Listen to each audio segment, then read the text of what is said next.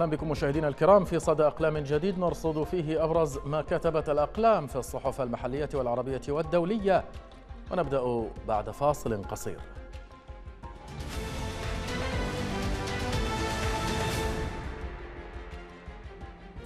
يقول الكاتب عصام الياسري منذ خمسة عقود وأطفال العراق جيلا بعد جيل يعانون العديد من المظالم والانتهاكات. واشتدت معاناتهم وتراكمت ممارسة أساليبها دون رادع قانوني على المستويين الداخلي الوطني والدولي. ناهيك عن المعاهدات التي من شأنها عادة في أي بلد مدني أن تحمي حقوق الطفولة والأمومة وترعى كل منهما إلا في العراق الذي لا يزال منذ احتلاله عام 2003 غير مستقر سياسيا وأمنيا.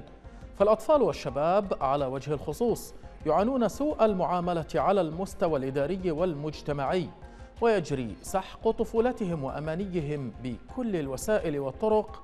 من هذا القبيل يوجد دون محاكمات عدد كبير من الأطفال والشباب في السجون العراقية المنتشرة في عموم البلاد تحت طائلة الاتهام الكيدي كالادعاء لمشاركتهم في المظاهرات على أنهم عملاء أو كاتهامهم بالانتماء إلى داعش وغالبا ما تكون العودة إلى أسرهم مستحيلة. وإذا ما تيسرت عودتهم إلى مناطقهم لا سيما المحافظات الجنوبية وبغداد فإنهم معرضون كذلك لخطر الوصم والاستبعاد أو التعرض للمساءلة والعنف من قبل زمر تابعة لأحزاب السلطة. وفي أغلب الأحيان يعيشون في طيء النسيان بلا أمل في المستقبل بعد سنوات من المعاناة في العزلة. إن انتهاك السلطات العراقية قواعد عدالة الأحداث الدولية وحقوق الطفل على أساس قوانين مكافحة الإرهاب المثيرة للجدل تشكل العقبة الأساس لعدم استقرار حياة الأطفال والشباب. تنص اتفاقية الأمم المتحدة المتعلقة بحقوق الطفل والتي صادق عليها العراق أيضا على أن احتجاز الأطفال مسموح به فقط إن كان الملاذ الأخير لأقصر وقت ممكن. ومن بين أمور أخرى فإن مبادئ الأمم المتحدة بشأن الأحداث تؤكد على أن الاحتجاز السابق للمحاكمة يجب أن يكون ممكنا فقط في حالات استثنائية. إلا أن التقارير تتحدث عن حوالي 270 قاصرا. كان رهن الاحتجاز السابق للمحاكمة لفترة غير مسموح بها في نهاية عام 2020 ولا يوجد مبرر لعدم اتخاذ إجراءات لإنهاء هذه الانتهاكات. فالمئات من القاصرين ما زالوا محتجزين بسبب ادعاءات كيدية مزعومة بعيدا عن الأنظار.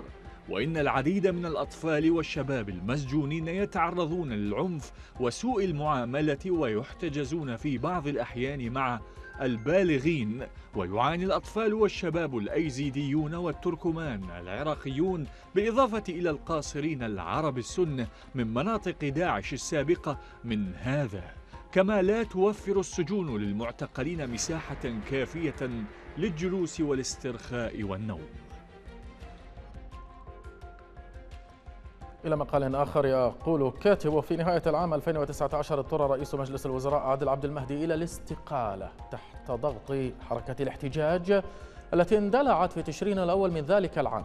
لكن عمليا كانت استقالة عبد المهدي استجابة لمطلب السيستاني وكشفت هذه الاستقالة عن معضلة منصب رئيس مجلس الوزراء في العراق الذي كان دائما محل صراع شيعي شيعي واضح باستثناء ربما التوافق النسبي. الذي تحقق حول اختيار إبراهيم الجعفري رئيسا للحكومة الانتقالية. أما في العام 2010 فكان التدخل الإيراني هو الذي حسم ترشيح نور المالكي لرئاسة مجلس الوزراء لولاية ثانية. بعد تأخير استمر قرابة ستة أشهر من خلال الضغط على السيد مقتدى الصدر الذي كان يعارض عودة المالكي لولاية ثانية. وهو ما اعترف به الصدر شخصيا في مذكراته التي نشرها عام 2002 أو عام 2012 بعنوان الهدف النبيل من زيارة أربيل. وأتوقع الكاتب يحيى الكوبيسي أن تتكرر أحداث عام 2020 في العراق. لم يعد الإيرانيون مع هذه الأزمة يمثلون المظلة التي تحوي جميع القوى السياسية الشيعية كما كان عليه الأمر دائما بل تحولوا إلى طرف في الأزمة القائمة. ورغم إعلان إيران موقفا صريحا تجاه الأزمة في الأسابيع الأخيرة يتبنى موقف الإطار التنسيقي بشكل كامل ودون مواربة. لكن الواضح أيضا أنه ليس من مصلحة إيران وصول الطرفين إلى صراع شيعي شيعي يمكن أن يهدد مصالحها الاستراتيجية في العراق بشكل أو بآخر. ومن الواضح أيضا أن الصدريين لن يسمحوا تحت أي ظرف بتمرير حكومة يهيمن عليها الإطاريون. وهذا الموقف ليس مجرد موقف سياسي بل هو موقف وجودي بالنسبة لهم. اليوم ثمة مؤشرات لا يمكن إغفالها في سياق حراك مدعوم إيرانيا لإيجاد صفقة تعيد إنتاج سيناريو عام 2020 وهذا الحراك قد يمثل مخرجا تكتيكيا للأزمة يجمدها عند حدودها الحالية دون تصعيد. لكنه بالتأكيد لن يكون هذا المخرج سوى تكريس للأزمة على المستوى الاستراتيجي أي تكريس لفشل الدولة وفسادها وسوء إدارتها. وهو ما سيجعل الحديث عن أدنى إصلاح للوضع في العراق مجرد خرافة. عن الخيار النووي لبوتين كتب عثمان ميرغني مقالا في صحيفة الشرق الأوسط قال فيه ليس من السهل توقع ما يمكن أن يحدث خلال الأيام والأسابيع المقبلة بعد نكسة القوات الروسية في أوكرانيا. كثيرون في الغرب حذروا من خطر إذلال روسيا والآن يواجه العالم هذا الخطر الذي أصبح أكثر جدية من أي وقت مضى بعد الهزائم التي تلقتها القوات الروسية في منطقة خاركيف. وبات السؤال الذي يتردد هو هل تزيد هذه الهزائم من مخاطر حرب نووية في خطابه المتوتر الذي استمر نحو سبع دقائق لوح الرئيس الروسي فلاديمير بوتين مجددا بالسلاح النووي وبكل وسائل التدمير المختلفة في ترسانة روسيا العسكرية مهددا بأنه لا يمزح. وألقى باللائمة على الغرب قائلا إنه تجاوز كل الخطوط بتوفير أنظمة أسلحة متقدمة لأوكرانيا وإن الهدف الغربي هو إضعاف روسيا وتقسيمها وتدميرها في نهاية المطاف. ما يجعل التهديد أكثر جدية هذه المرة أن بوتين يجد نفسه محشورا في زاوية ضيق. التلويح بالسلاح النووي ينظر إليه على أنه تهديد بالأسلحة النووية التكتيكية الصغيرة وليس بالقنابل النووية الكبيرة التقليدية. فأثر هذه الأسلحة التكتيكية يبقى محدودا في محيط المنطقة التي تستخدم فيها. وينظر إليها على أنها للردع النووي وليس للدمار الشامل الذي تحدثه القنابل النووية التقليدية. ويعتقد أن روسيا تملك آلافا منها في ترسانتها وتعتبرها وسيلة للتعويض عن قوة حلف الناتو في الأسلحة التقليدية المتقدمة. في كل الأحوال فإن استخدام مثل هذه الأسلحة سيعني كسرا محظورا في الحروب منذ آخر مرة استخدمت فيها الأسلحة النووية في هيروشيما وناغازاكي قبل 77 عاما كما أنه يرفع التهديد باحتمال انفلات الأمور وتطور الحرب الأوكرانية من حرب بالوكالة بين روسيا والغرب إلى حرب مباشرة وواسعة. عواقبها وخيمة على العالم برمته. استخدام هذه الأسلحة يحمل بالتأكيد مخاطر كبيرة لبوتين لأنه حتما سيزيد من عزلة روسيا وربما يفقدها ما تبقى من تعاطف حلفائها مثل الصين والهند ويعرضها لعقوبات غربية أشد. أضف إلى ذلك كله أنه قد يصبح مبررا لبعض الدول الغربية لإرسال مزيد من السلاح وربما قوات أيضا إلى أوكرانيا. الآن إلى مقال آخر وفيه يقول كاتبه يقف العالم على أطراف أصابعه مع دخول الحرب الروسية ضد أوكرانيا منعطفا. هو الأخطر منذ بداية العمليات العسكرية في الرابع والعشرين من شباط فبراير الماضي.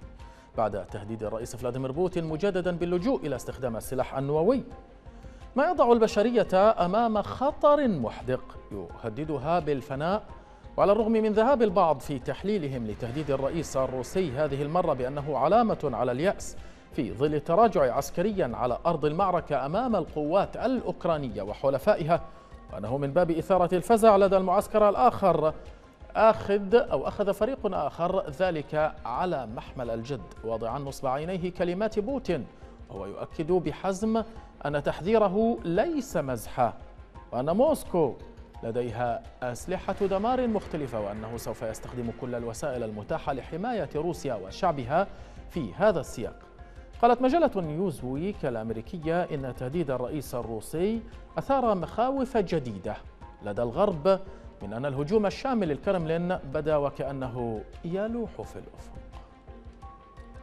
بوتين يمكن أن يتحرك بشكل أسرع مع الأسلحة طويلة المدى والتي هي بالفعل في حالة تأهب قصوى بدلا من الأسلحة قصيرة المدى والتي يتعين على روسيا إخراجها من مخزوناتها الاستراتيجية. وأضاف يمكن توقع استخدام أسلحة بعيدة المدى إذا تم نقل قاذفات أرضية متنقلة أو غواصات مجهزة أو صواريخ كروز بأعداد كبيرة من المعتاد. ونقلت نيوزويك عن اتحاد العلماء الأمريكيين أن روسيا تمتلك أكبر مخزون من الرؤوس الحربية النووية في العالم بإجمالي 5977 رأسا بينما تأتي الولايات المتحدة الأمريكية في المرتبة الثانية ب 4428 رأسا تليها فرنسا ب 290 واعتبرت المجلة الأمريكية أن الرئيس الروسي يخاطر بإثارة اضطرابات داخلية في بلاده رفضا لهذا القرار الذي أشارت إلى أنه اضطر إليه في ظل الأداء السيء لقواته في الحرب وخسارة الأراضي التي كانت تسيطر عليها لصالح القوات الأوكرانية. قالت صحيفة لوموند الفرنسية أن النظام الإيراني فوجئ مرة أخرى بخروج المظاهرات ليرد عليها بالطريقة الوحيدة التي يعترف بها ويتقنها وهي استخدام القوة. وذلك على خلفية الاحتجاجات التي أثرتها حادثة وفاة الشابة الإيرانية مهسا أميني أثناء احتجازها لدى الشرطة في أعقاب إلقاء القبض عليها في طهران الأسبوع الماضي. وأضافت الصحيفة أن السلطات الإيرانية التي ارتبط اسمها بممارسة القمع والتعسف لم تنجح في إقناع الرأي العام بأن الشرطة لم تستعمل العنف ضد مساميني مضيفة أن العديد من الإيرانيين وغالبيتهم من صغار السن عبروا عن موقفهم في الشوارع كما في كل مرة عندما يبلغ غضبهم ذروته في بلد مغلق. وقد أسفرت هذه الاحتجاجات عن مقتل خمسين في الأقل بسبب اشتباكات مع قوات أمن النظام بحسب الصحيفة. أن هذه الحمى الجديدة تأتي بعد ثلاث سنوات من الاحتجاجات التي اندلعت عام 2019 بسبب ارتفاع أسعار الوقود والتي تم قمعها بلا رحمة من قبل السلطات الإيرانية حيث قتل أكثر من 300 شخص في غضون ثلاثة أيام بحسب منظمات حقوقية دولية.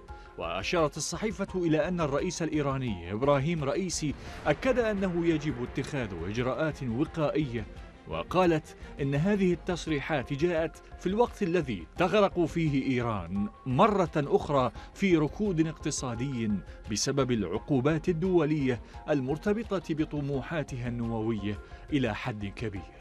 وأوضحت الصحيفة أنه أمام قوة رد الفعل التي أثارها موت مهسا أميني ارتفعت الأصوات مرة أخرى لدى بعض الشخصيات للتنديد بالطرق التي تعتبر أنها تعطي نتائج عكسية.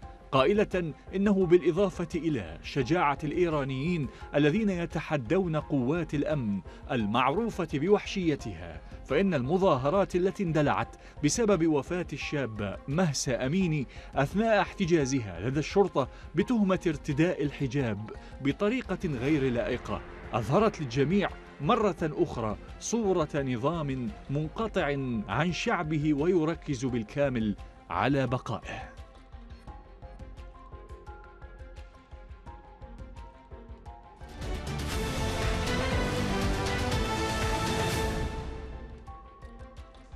نلقي نظرة وإياكم على الكاريكاتير الذي اخترناه لكم لهذا اليوم.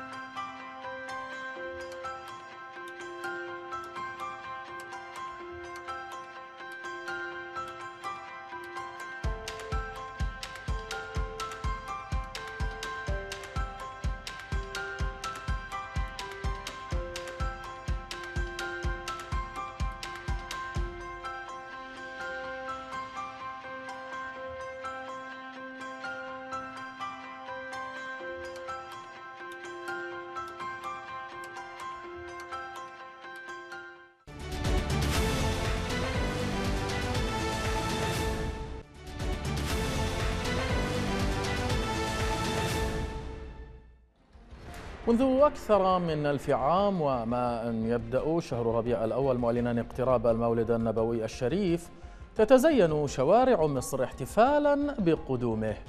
وتنتشر الساحات والسرادقات التي تبيع الحلوى وعرائس المولد الشهيرة.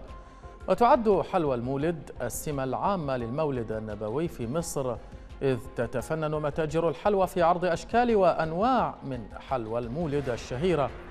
فما بين أقراص الحمصية والسمسمية وأنواع الملبن المختلفة بأسعارها المتوسطة وما بين الفستقية والبندقية واللوزية الأعلى سعراً ينتقي المشترون ما يناسبهم ويتلائم مع ميزانيتهم. وسط بهجة ينتظرونها كل عام. وتطورت صناعة حلوى المولد بمرور الزمن إذ بدأت بشكل يدوي بسيط حتى وصلت إلى المصانع الكبرى. ورغم ذلك ظلت بعض الورش باقية وتعمل بشكل يدوي وبصورة موسمية في فترة ما قبل المولد النبوي الشريف لعرضها في السرادقات والمحلات البسيطة في الأماكن الشعبية بشكل خاص.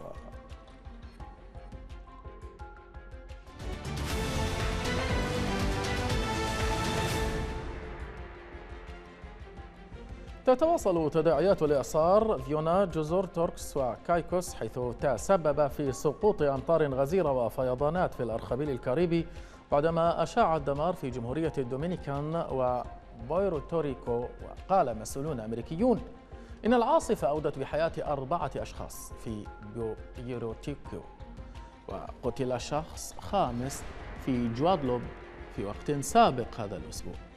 وأعلن وزير الصحة الأمريكي كازافيي بسيرة حالة الطوارئ الصحية العامة لبورتوريكو ليلة الثلاثاء فيما يسمح بصرف أموال ومعدات اتحادية لمساعدة الجزيرة. وقال المركز الوطني للأعاصير النافيونا الذي بلغت سرعة الرياح المصاحبة له 201 كيلومتر في الساعة اتجه شمالا صوب برمودا. وأضافت أن حكومتها تتواصل مع البحرية الملكية البريطانية وخفر السواحل الأمريكي. ومن المتوقع أن تصل سفينة الدورية ميدواي التابعة للبحرية البريطانية ليلة الثلاثاء للمساعدة في جهود الإنقاذ.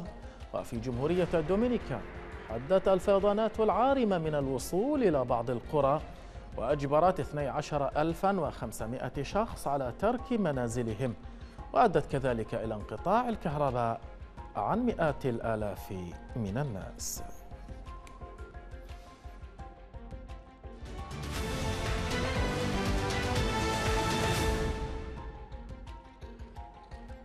الآن نتابع وإياكم فيديو اليوم الذي اخترناه لكم من مواقع الصحف.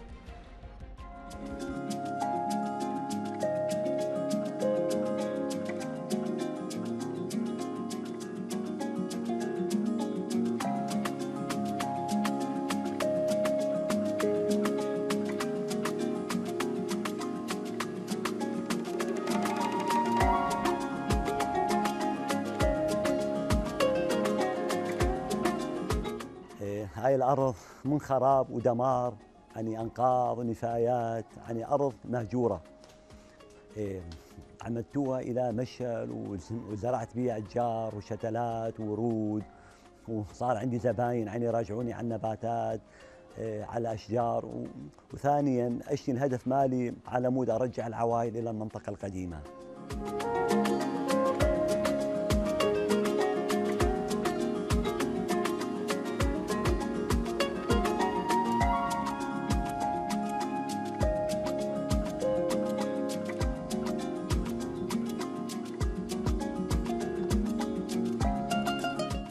أول ما رجعت العالم يعني عرفوا بي كنت فتحت واحد يتصل بالاخ واحد يخبر الاخ يقول له يعني أبو عمر كنت فتح مشتل ورجعت الحياة على المنطقة و... وكلش حلو يعني. ثاني شيء الأشجار يعني تعطينا الأكسجين. يعني مثلا عاصفة رملية عندي هسه على الجار اليوكاليبتس عندي إيه عندي الاسبندار هذا يصد الرياح. يعني اشك طوز ما طوز كله يعني ننزله على الأرض.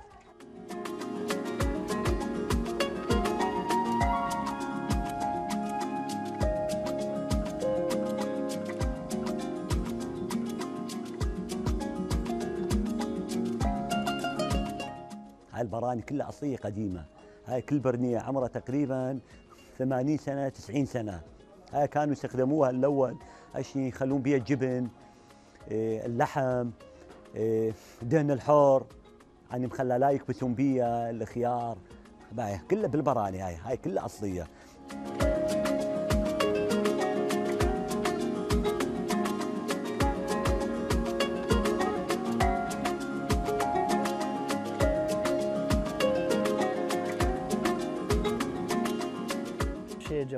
وخضار وهي المنطقة يعني تحتاج لهاك الشيء ترتيب يعني والعالم يعني جميع المنطقة يجون يطمشون ويشتغلون منه النباتات وهي بعازة ذاك الشيء خضار وترتيب لأن هي القديمة يعني ما بيها ذاك الترتيب الخضار وترتيب وهي كقديمة كفصال يعني عامله وابو عمر يعني حيل تعب عليها وحيل حيل حلوة طلعت.